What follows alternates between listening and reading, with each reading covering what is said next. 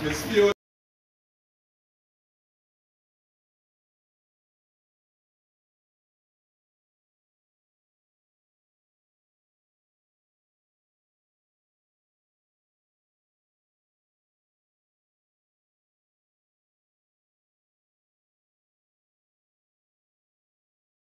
just it.